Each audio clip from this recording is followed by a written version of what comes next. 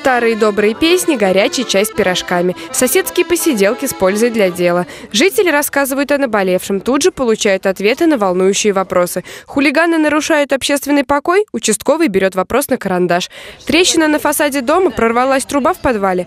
Представитель управляющей компании записывает проблемные адреса. Вот так, не выходя за пределы собственного двора, жители рассказали о проблемах специалистам. Встреча организована общественным советом микрорайона. Я надежду вижу в этом. Считаю, что это должно помочь в решении каких-либо наших злободневных проблем. Потому что на этих встречах бывают представители разных уровней власти. То есть от полиции до о, юристов, о, руководителей управляющих компаний. Считаю, что это замечательно. Жаловались жители и на состояние внутридворовых проездов.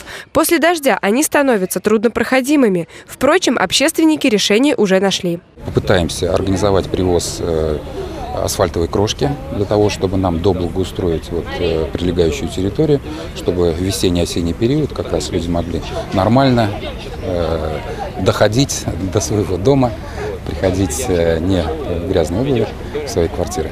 Смысл реформы местного самоуправления именно в этом – сделать власть ближе к людям. Сообща, даже проблемы отдельного двора можно решить действительно быстро. Отстаивать интересы жителей каждого микрорайона будут депутаты районных советов, которых самарцы выберут 13 сентября. Алина Чемерис, Валерия Макарова, Павел Пресняков. События.